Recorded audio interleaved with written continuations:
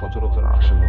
আর এমন একটা জায়গায় বাড়িটা বাড়ি এর আশেপাশে কোনো মানুষজন থাকে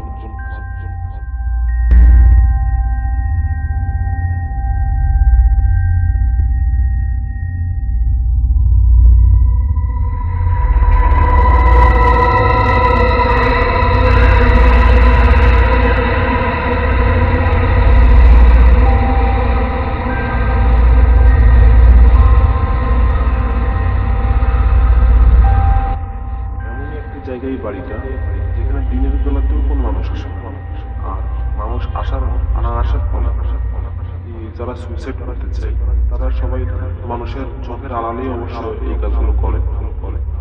এইখানটাই বেছে নেয়। আর এইখানে যে রশিটা প্রথমে দেখলেন, ওইটা একজন সুইসাইড করছিল, তার রশি ওইটাকে নামায় না এর আগেও এখানে বেশ কয়েকটা রশি ছিল, সেগুলো পচে পচে পড়ে গেছে। পড়ে গেছে লোকের মুখে শুনলাম এইখানে আসার পর। আজকে আমরা দেখছি বাড়িটা আপনার সাথে